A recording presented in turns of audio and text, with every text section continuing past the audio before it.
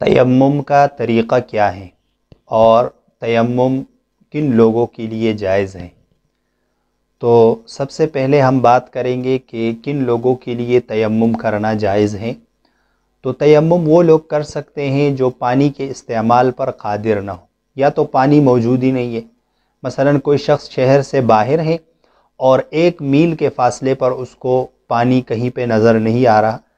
या पानी तो मौजूद है, लेकिन मिसाल के तौर पर कुएँ में है और कुएँ से निकालने का कोई तरीक़ा नहीं है, कोई रास्ता नहीं है डोल वगैरह नहीं है जिसके ज़रिए आप पानी निकाल सकें।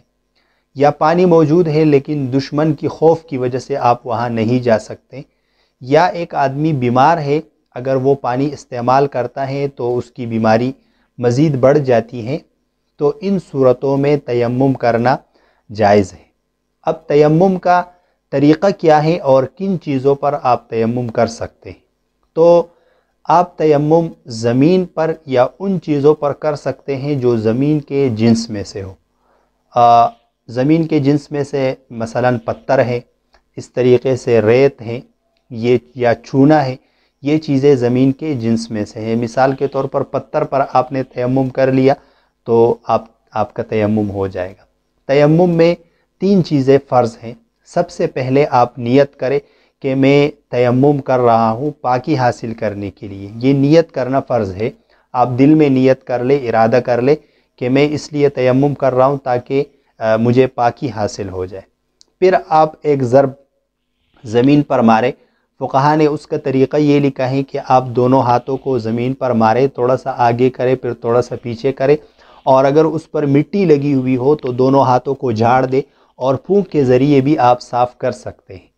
फिर दोनों हाथों को चेहरे पर इस तरह मले कि कोई भी जगह वो बाकी न बचे यानी पूरे चेहरे पर आप इस तरह हाथ फेरे कि कोई भी जगह एक बाल के बराबर जगह भी आ, बाकी न बचे बल्कि पूरा चेहरा आपका इस तरह हो कि उस पर आप हाथ फेर दें।